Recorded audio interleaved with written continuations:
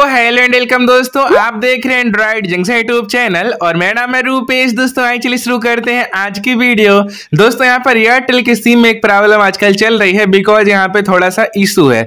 जैसे यहाँ पे आपका फ़ोन यदि बंद रहता है नेटवर्क क्षेत्र से बाहर रहता है ना तो मिस कॉल वाला मैसेज तो आता है जैसे आप साइड में देख पा रहे हैं। लेकिन नंबर नहीं पता चलता कि कौन लोगों ने कॉल किया और हम लोग घबराहट होने लगती है कि आखिर कॉल किसका आया।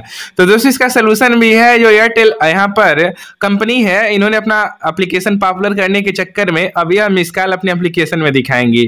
तो एप्लीकेशन में कहाँ दिखाएँगे, कैसे दिखाएँगे, मैं लाइव आपको बताऊँगा, सारा कुछ अच्छे से सिखाऊँगा कि आप किस तरह से अपना मिस कॉल इनके ऐप के थ्रू चेक कर पाएँगे। यह ऐप में इसलिए ला दिए हैं कि जब मैसेज में नहीं दिखाएँगे तो लोग मजबूर होकर ऐप का यूज़ करेंगे। लेकिन आप बताएगा अच्छा है, बुरा है?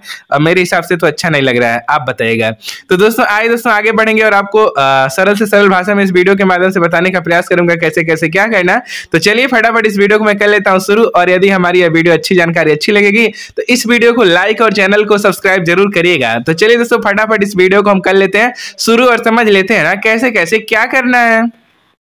तो दोस्तों, हम आ चुके हैं लाइव स्क्रीन पर, जैसा कि आप देख पा रहे हैं ना, सबसे पहले आपको क्या करना है चलना गूगल प्ले स्टोर के तरफ़, ठीक है? और यहाँ से एक एप्लीकेशन का मदद लेना पड़ेगा, जिस एप्लीकेशन का नाम है एयरटेल थैंक्स ठीक है?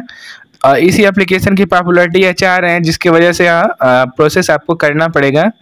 एयरटेल थैंक्स एप्लीकेशन को ना आपको डाउनलोड कर लेना होगा, ठीक है? देखिए, मैंने ऑलरेडी डाउनलोड करके रखा है, ठीक है? अब हम क्या करेंगे यहाँ पर? यहाँ से एयरटेल थैंक्स एप्लीकेशन को ना हम ओपन करेंगे। आप भी डाउनलोड कर लीजिएगा डिस्क्रिप्शन में भी लिंक में दे दूँगा, मैं वहाँ से आप चाहेंगे तो डाउनलोड कर सकते हैं, ठीक है? यहाँ से अपना मोबाइल नंबर देना है। जो मोबाइल नंबर आपका जिसका मिस कॉल चेक करना चाह रहे हैं ठीक है? मैंने अपना मोबाइल नंबर इनपुट कर दिया और सेंड ओटीपी पे हम क्लिक कर देंगे ठीक है? अब हमारे आ, मतलब मोबाइल नंबर पर ओटीपी आएगा वन टाइम पासवर्ड और यहाँ ऑटोमेटिक फिल हो सकता है। या तो आपको मैनुअली भरना होगा यदि ना भरे तो। देखिए मेरा ऑटोमेटिक फिल हो गया। यदि ना फिल होना तो आपको मैनुअली लिख लेना है ठीक है? लिखने के बाद यहाँ पे अलाउ कर देना है। जो परमिशन वगैरह मांगे इसको अलाउ कर दीजिए ठीक है? कुछ बातें आपको दिखाऊँगा जो आपको बिल्कुल लाइव दिखाऊँगा, ठीक है? मैं यहाँ पे सारा परमिशन इनको दे देता हूँ ताकि मिसकाल वगैरह वाला सारा यहाँ पर प्रोसेस हमको दिखने लगे। आपको दिखाना चाहूँगा कुछ बातें। हम आते हैं अपने मोबाइल फ़ोन के एसएमएस बॉक्स में और यहाँ पे आपको दिखाना चाहूँगा अपना सारा मैसेज उस तरह से जो हमारे मैसेज आया है, देख सकते हैं। इस तरह से एयर एम सी ए करके मैसेज आता है। आप देख पा रहे हैं, हमारे पे एक मैसेज आया है पंद्रह तारीख को, ठीक है? और पंद्रह को आया है तीन मिस कॉल यहाँ पर यहाँ है और यहाँ है, सारा कुछ है। आइए एकदम टाइमली आपको दिखाता हूँ, ठीक है? एयरटेल थैंक्स एप्लीकेशन में।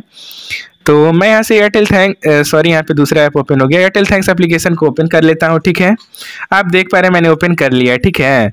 यहाँ पर शॉर्टकट्स का ऑप्शन मिल जाएगा और इसी में एक नया फीचर जोड़ दिया गया जिसका नाम है मिस कॉल अलर्ट्स आपको इसी मिस कॉल अलर्ट्स पे क्लिक करना है। जैसे क्लिक करेंगे या फैचिंग करेगा और यहाँ से गॉटिट पे क्लिक करेंगे। और आप देखिए, पंद्रह सितंबर में जितना मुझे कॉल आया था, सारा का सारा रिकॉर्ड मुझे यहाँ पे मिल पा रहा है, जैसा आप आसानी से देख पा रहे हैं। तो इस तरीके से ना, आप अपना मिस कॉल आसानी से चेक कर सकते हैं। यदि हमारी यह वीडियो अच्छी लगी होगी तो इस वीडियो को लाइक और चैनल को सब्सक्राइब ज़रूर करिएगा। मिलेंगे हम किसी नए वीडियो में। नए अपडेट के साथ, तब तक के लिए आप लोग अपना ख्याल रखिएगा। बाय बाय दोस्तों।